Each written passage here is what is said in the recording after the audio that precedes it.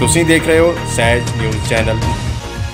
ਨਵੀਆਂ ਅਤੇ ਤਾਜ਼ਾ ਖਬਰਾਂ ਦੇਖਣ ਲਈ ਸਬਸਕ੍ਰਾਈਬ ਕਰੋ ਅਤੇ ਲਾਈਵ ਕਵਰੇਜ ਲਈ ਸੰਪਰਕ ਕਰੋ।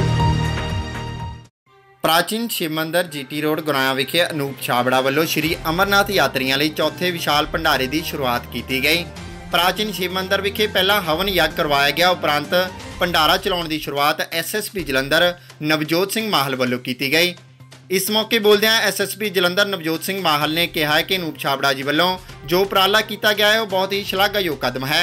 ਇਸ ਮੌਕੇ ਅਨੂਪ ਛਾਬੜਾ ਨੇ ਕਿਹਾ ਕਿ ਭੰਡਾਰਾ 15 ਜੁਲਾਈ ਤੋਂ 15 ਅਗਸਤ ਤੱਕ ਚੱਲੇਗਾ, ਜੋ ਰੋਜ਼ਾਨਾ ਸਵੇਰੇ 10 ਵਜੇ ਤੋਂ ਸ਼ਾਮ 9 ਵਜੇ ਤੱਕ ਚਲਾਇਆ ਜਾਵੇਗਾ। ਇਹ ਭੰਡਾਰਾ ਹਰੇਕ ਸਾਲ ਲਗਾਇਆ ਜਾਂਦਾ ਹੈ।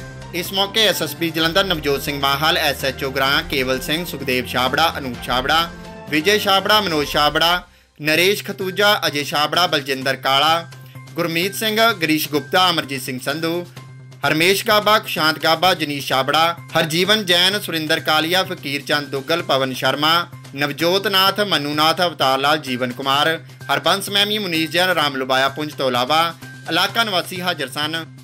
ਜਿੱਥੇ ਗਰਾਇਆ ਦੇ ਵਿੱਚ ਚਾਵਲਾ ਜੀ ਨੇ ਲੰਗਰ ਲਾਇਆ, ਲੋਕ ਸੇਵਾ ਕਰ ਰਹੇ ਨੇ। ਜਿਹੜੇ ਲੋਕ ਇੱਥੇ ਲੰਘਦੇ ਨੇ, ਉਹਨਾਂ ਨੂੰ ਇੱਥੇ ਲੰਗਰ ਦੀ ਸੇਵਾ ਮਿਲਦੀ ਹੈ। ਬਹੁਤ ਹੀ ਵਧੀਆ ਇਨਸਾਨ। ਅੱਗੇ ਉਦਯੋਗਪਤੀ ਨੇ ਕਰਾਇਆ ਸ਼ਹਿਰ ਨੂੰ। ਮੈਂ ਇਹਨਾਂ ਨੂੰ ਵਧਾਈ ਦਿੰਦਾ। ਨਾਲ ਹੀ ਇਹਨਾਂ ਨੂੰ ਇਹੀ ਆਸ ਰੱਖਦਾ ਕਿ ਆਉਣ ਵਾਲੇ ਵਰਿਆਂ ਦੇ ਵਿੱਚ ਵੀ ਇਦਾਂ ਹੀ ਇਹਨਾਂ ਨੂੰ ਲੱਗਦਾ ਹੈ ਇਹਨਾਂ ਨੂੰ all the best thank you ਬੋਲੇ ਬਾਬਾ ਦੀ ਕਿਰਪਾ ਨਾਲ ਜੀਟੀ ਰੋਡ ਸ਼ੇਖਪਤੀਨ ਮੰਦਰ। ਬੋਲੇ ਬਾਬਾ ਦਾ ਭੰਡਾਰਾ, ਚੌਥਾ ਭੰਡਾਰਾ, ਵਿਸ਼ਾਲ ਭੰਡਾਰਾ ਲਗਾਇਆ ਜਾ ਰਿਹਾ ਹੈ। ਇਹ 15 ਜੁਲਾਈ ਤੋਂ 15 ਅਗਸਤ ਤੱਕ ਚੱਲਦਾ ਹੈ।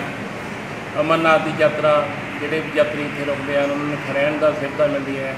ਯਾਤਰਾ ਦੇ ਵਿੱਚ ਜਿਹੜਾ ਵੀ ਕਿਸੇ ਨੂੰ ਕੋਈ ਦਿੱਕਤ ਨਾ ਆਵੇ, ਸਾਰਾ ਰਹਿਣ ਦਾ, ਬੈਠਣ ਦਾ, ਖਾਣੇ ਦਾ ਸਭ ਪ੍ਰਬੰਧ ਹੈ ਇੱਥੇ। ਇਹ ਭੋਲੇਨਾਥ ਦੀ ਕਿਰਪਾ ਨਹੀਂ ਚੌਥਾ ਭੰਡਾਰਾ ਲੱਗ ਰਿਹਾ ਹੈ ਖੁੱਲਾ ਭੰਡਾਰਾ ਆ ਸਵੇਰੇ 10 ਵਜੇ ਤੋਂ ਚੱਲਦਾ ਹੈ, ਰਾਤ 10 ਵਜੇ ਤੱਕ ਚੱਲਦਾ ਹੈ। ਤੇ ਸ਼ੁਭ ਰਾਮ ਵੇਲੇ ਨਵਜੋਤ ਸਿੰਘ, ਸ੍ਰੀ ਨਵਜੋਤ ਸਿੰਘ ਦੀ ਮਾਲ ਆਪਣੇ ਇੱਥੇ ਸ਼ੁਭ ਮੂਰਤ ਕਰਕੇ ਗਏ ਆ ਭੰਡਾਰੇ ਦਾ।